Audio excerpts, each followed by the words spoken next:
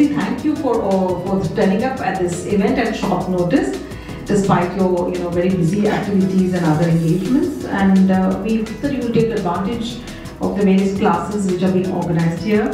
So these are on Indian classical dances, uh, on instruments, yoga, uh, Hindi, Sanskrit, etc. With these words, I would like to once again extend my felicitations to all the alumni who have come here and the current students of ICCR from Thailand and wish them all success uh, in their endeavors. Thank you very much. Kapurka.